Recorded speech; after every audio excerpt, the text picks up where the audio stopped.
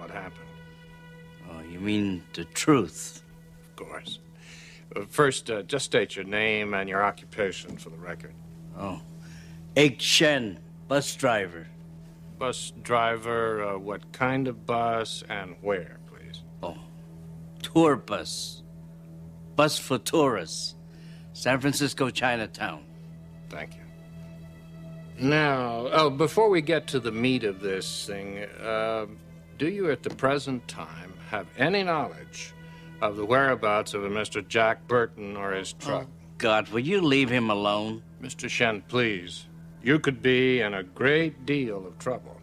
Half a city block explodes in a ball of green flame. Green flame! I mean, so all hell is breaking loose here. And there are people who say you're involved, that you might be responsible, that you're a very dangerous man. Now, if you're protecting Jack you Burton... leave Jack Burton alone. We are in his debt. He showed great courage.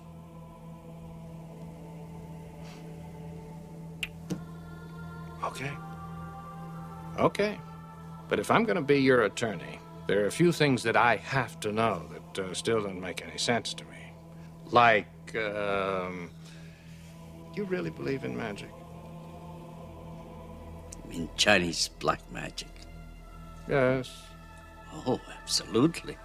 Are you still serious about this? And uh, monsters and ghosts as well, I suppose. Oh, sure. And sorcery. And I suppose that uh, you expect me to believe in sorcery as well. Of course. Why? Because it's real. How can I know that, Mr. Shen? How?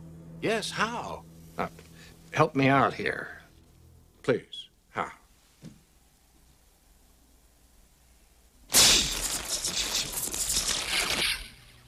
See? That was nothing. But that's how it always begins. Very small.